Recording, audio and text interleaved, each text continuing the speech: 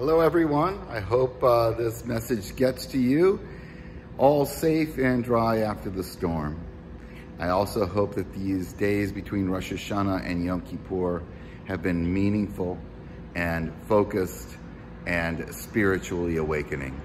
One of the challenges of doing uh, all the services pre-recorded is that things that take place between Rosh Hashanah and Yom Kippur are often overlooked.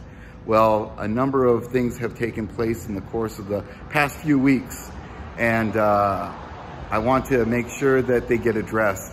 The first is a remarkable peace treaty that has unfolded, or not a peace agreement, not really a treaty, that has unfolded uh, between Israel and uh, the UAE and Bahrain.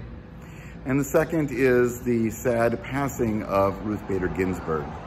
I will be addressing each of these topics this Friday uh, on Shabbat Shuvah, very briefly, and then uh, we will take a much more uh, detailed look at them as the year 5781 unfolds.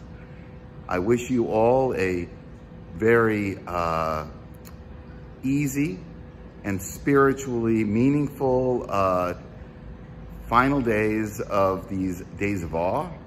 And remember, whenever the opportunity for chesed and kindness arises, take that opportunity to express a little kindness in this world.